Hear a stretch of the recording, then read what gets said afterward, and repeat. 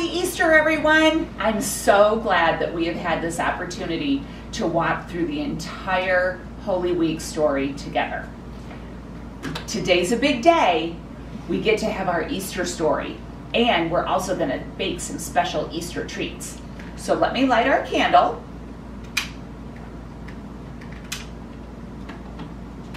And let's one more time remember just how special it is that Jesus is always with us. And then let's grab our friend or our sibling or our parent and let's grab their hands and squeeze them really tight. And let's remember that this is a special, blessed time to be together. Let's read our story, shall we? This is called the Super Surprise. And our scripture is taken from Mark chapter 16, verses 1 through 7. So if you want to grab your Bible, go ahead and grab it. And then you can compare what the Bible says to what our story says. The super surprise. There was something special about the day. The birds that lived in the trees above the quiet cave knew it. They knew it when they opened their eyes that morning and saw the sunrise. The sun peeked out over the horizon and seemed to wink at the world.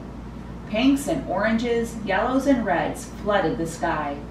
Golden rays reached out like fingers toward the cave and twinkled as if they were holding a secret.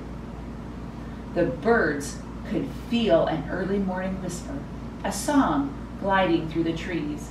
And now the birds could hear it, a whisper that got louder as it danced along. It was a name, a name carried on the wind, sailing through the leaves, rushing through the grass. The birds perked up and opened their beaks to join the chorus of all creation as every, every living thing sang the name, the name that is above any other name. Jesus, Jesus, Jesus is alive. The big stone had been moved, the cave was empty, the sun was shining. Jesus, King of the whole world, was alive again. The trees clapped their hands, the flowers danced for joy. The birds flew high over the fields and carried the news, the most wonderful news that the world has ever heard. Jesus is alive. And soon the disciples would know it too. Jesus' mother would know it. One day everyone in the whole world would know it. And now you know it too. Okay, isn't that such good news? Now, what I want to do is go upstairs to my kitchen again, and we're going to bake something really special that's called a resurrection roll. So, join me upstairs, and I'll see you in just a minute. Okay, welcome back to the kitchen. I'm getting my apron on again so that I can be a great cook again. And I'm really excited to show you something that I used to do with my siblings when I was young pretty often. We are gonna make something called resurrection biscuits. And let me show you all the things that I have here. So, these are Hy-Vee buttermilk biscuits. Any kind of refrigerator biscuits will work just fine. I have some marshmallows. I'll show you what to do with those in a minute. I have some butter that I'm gonna melt in the microwave. And then I have some cinnamon and sugar, which I'm gonna mix together and we'll use it on the top of our biscuits. So the first thing we're gonna do is open these. And one of our favorite things about refrigerator biscuits is that they make a pop like that. They just pop right open and it's so fun. So we're gonna take our biscuits out and I'm gonna demonstrate with one and then I'm just gonna make them all and I'll show you what to do. So you're gonna take one of your refrigerator biscuits and set it on a clean spot and just kind of squish it a little bit. So see, now my refrigerator biscuit looks like this, all right? Then we're gonna take a marshmallow and these are pretty big marshmallows. So I might recommend if you've got big marshmallows like this that you cut it in half.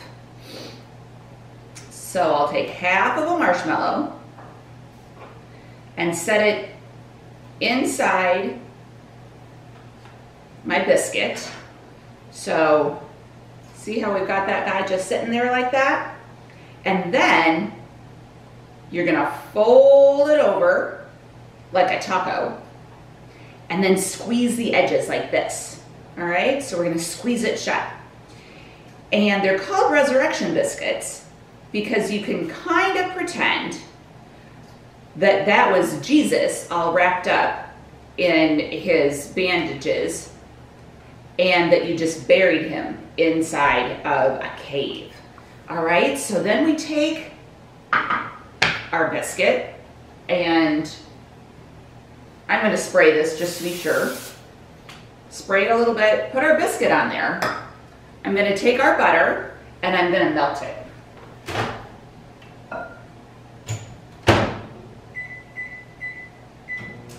Now, for your butter, you can either use, this is just a little brush that you use for sauce and things like that. So you can use something like this, or you can just use a small spoon and just take a little bit of butter and you're gonna drizzle it all over the top of your biscuit. And then I'm gonna mix up a little bit of cinnamon sugar here. And you might even have a container of cinnamon sugar if you like cinnamon toast. Might already have it at home. We don't do a lot of cinnamon toast here, so I don't have that. But you mix that up however you like it. There's really not a big recipe situation going on here. But mix it up. And then I'm gonna get my butter out of the microwave.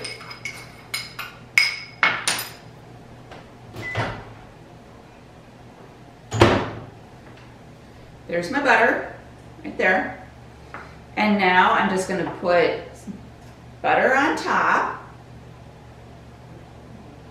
like that.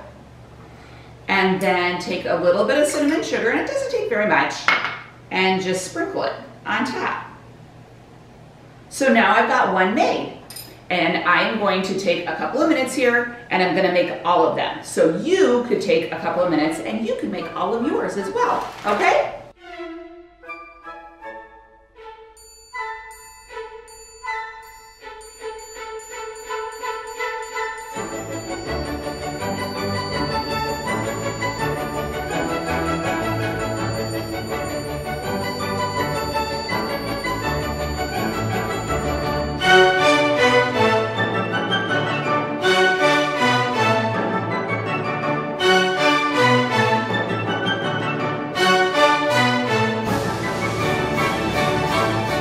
This is what all of that looks like. Did you see how Becca hopped in and helped me for a little bit? These really are super fun to make as a group. So now I'm gonna pop these in the oven. The oven is set at 400 degrees and let's see how long they cook for. They cook for 10 to 13 minutes. All right, so now we have our resurrection biscuits all baked and this is what they look like. Now, anytime we work with food and we compare it to a Bible story, it's important to recognize that at some point, it's just an example.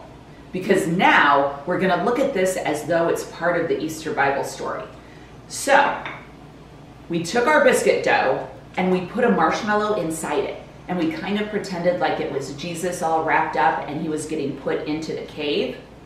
Now, look, here's our biscuit. And if we open up our cave, there's nothing inside. And so it is just like Jesus was resurrected. And the great thing about this particular way to tell a Bible story is it's delicious when you get to eat it. So I hope you all have a great Easter, and we'll see you soon. I hope you enjoyed our yummy resurrection rolls. Now I'd like to close, just like we have every other time, with our love letter from God. And I hope that you have time to color your own love letter from God as well. Today, I'm going to use Miss Suzanne for our love letter name. Dear Miss Suzanne, can you believe that my son Jesus came back to life? Only the King of the world could do that. Jesus is the King of love, the King of hope, the King of heaven, and he wants to be the King of your life too. Thank you from God. Friends, thank you for spending so much time this week going over all of the Holy Week stories. I hope it's been fun for you and your families. It's certainly been meaningful for me. And now, I'll see you next week. Miss you. Bye bye. Happy Easter, everybody.